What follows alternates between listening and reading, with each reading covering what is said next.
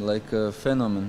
He's like a Fenomen bir oyuncu. Çok çok özel bir oyuncu, farklı bir I oyuncu. this guy will will have a, a big career. Yani önünde çok büyük bir kariyerin onu beklediğini düşünüyorum. Bunu söyleyebilirim. %100 eminim bile diyebilirim. Ee, çok yetenekli bir oyuncu. Ee, 17 yaşında kendisi ama sanki 30 yaşındaki bir oyuncuymuş gibi oynuyor. Ee, yani çok büyük bir kariyerinin onun önünde olduğunu düşünüyorum. Ama bu tarz böyle yetenekler Brezilya'da da çok fazla yok. Yani dünyanın her yerinde çok sık bulunan yetenekler değil.